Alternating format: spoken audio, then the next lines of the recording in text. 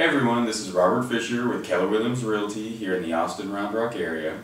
Today I wanted to talk to you about a first-time homebuyer strategy, first or second-time homebuyer strategy.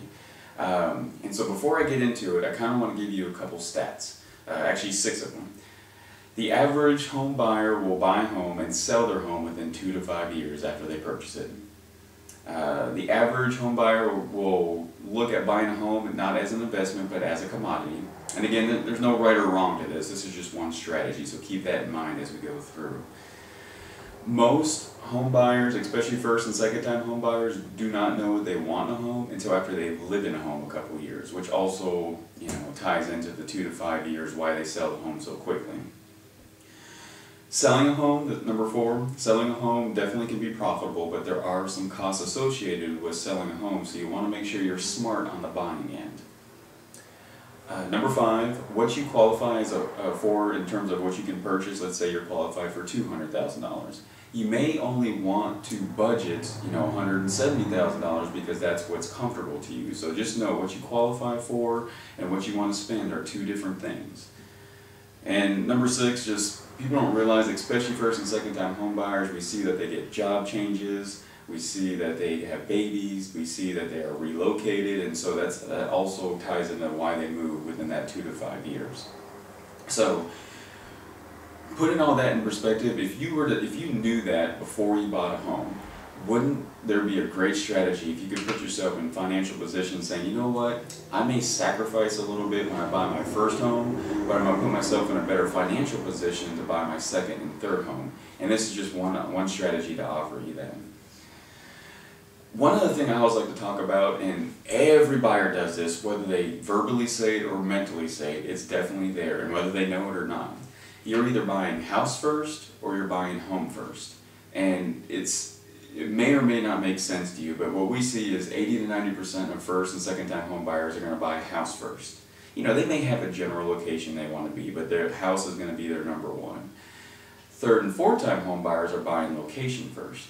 And here's what that means. If they're buying location first, it says, I want to be in these three neighborhoods, and then I'm, and you can show me all the homes in these three neighborhoods. Or I want to be in this school district, period, the end. That's just what it is if you're buying a house first, you may say, I want this general location, but really the one that makes me feel good, the one that shows the best, that's the one actually that I'm going to end up buying. And again, there is definitely no right or wrong, but you'll see as people start to graduate to, you know, to being third and fourth time home buyers, it does zoom in. So if you can change a little something on the front end, you're going to be so much more profitable on the back end, and it makes a big difference there's only a few people that will actually end up doing this strategy because it's hard when you're buying a home. I have to admit, people just you see one that's real nice. It may not be the perfect location, but gosh, it feels good. And you are looking for that feeling of which home can make you feel good, but you're looking for that financial feeling as well. So you're going to have to kind of mix the two.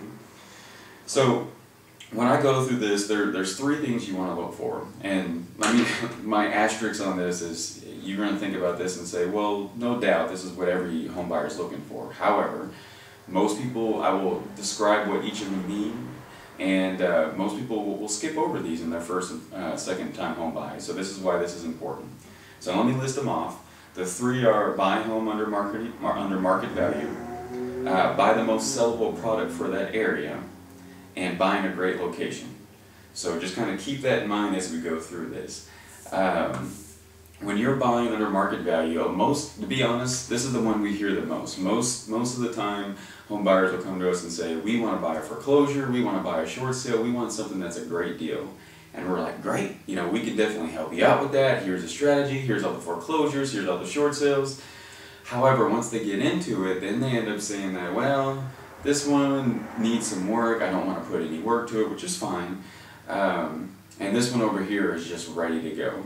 And so you're going to have to weigh out the benefits of each and each of the other ones. But in our area, you know, you can still get a home. You know, there's not huge deals. I mean, the average home over here sells at 96% of the of the sales price. So, but you can still get a home ten to fifteen thousand dollars under market value that just needs some paint, maybe some carpet or cleaning the carpet or something that may not be a, a large cost for a first time home buyer, but still position you for when you're ready to sell your home later buy the most sellable product. This is the one I think is most skipped over that people don't even think about. So I really like to talk about this one. And I'll, I'll give you kind of the extremes, but it, there are there are less extremes in each each neighborhood, and your realtor should be able to tell you what that is and really help you know what this is what sells in this neighborhood.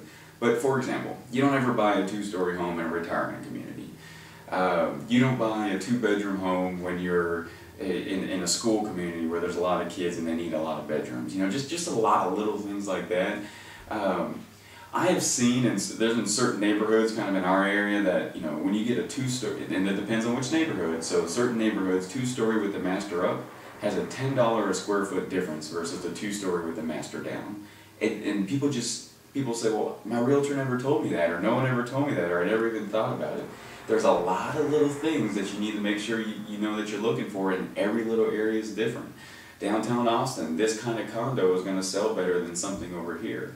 Um, a one-story, four-bedroom over in this community is the most popular product, but versus over here. So just know that there's a way to hone that in, and when someone knows how to break down the numbers for that neighborhood and say this product versus this product versus this product, you will be in a world ahead of everybody else that's thinking about buying in that area. So just keep that in mind. Uh, great location. This one's pretty easy. Most people will always heard location, location, location. But things to think about are, you know, the big ones are, are you back into a main street? You know, that's, you know, that sometimes that can be a negative for residential. Are you back into a green belt? That's a positive. Um, location in the sense of are you in a great school district, which was always going to be good? Are you near large employment? Are you near downtown? Are you near high-end neighborhoods? Are you in a high-end neighborhood and the, and the least expensive product in that neighborhood? There's all these combinations of location in terms of what you can do. Location in terms of how how big your lot is, which might be a benefit or a con depending on what the uh, neighborhood that you're in also. So keep that in mind. And know too, for the most part, location doesn't normally change, but you know, in our area, redistricting happens. So the school district may not always be the same school district. Employers either get relocated um, or they, they go out of business or whatever. So just know it's location can change sometimes, but there's a way to kind of, you know, box yourself out and still put yourself in a good area. So when I kind of tie all this together, and I'll have this on my website if you want to look at it or contact me about this as well.